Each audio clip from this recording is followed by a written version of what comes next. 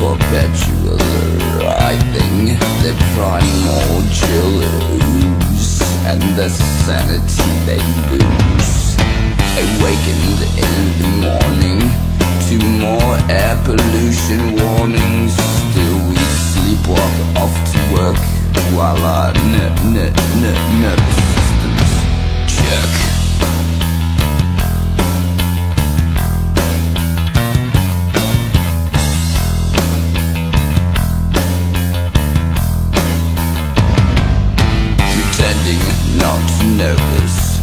Our history had forebode us With the greenhouse in effect. Our environment was wrecked.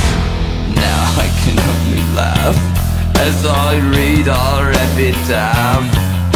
We end our life as moles In the dark of dawn patrol